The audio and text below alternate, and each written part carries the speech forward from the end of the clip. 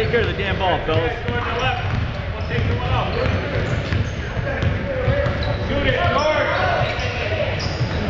Good, work.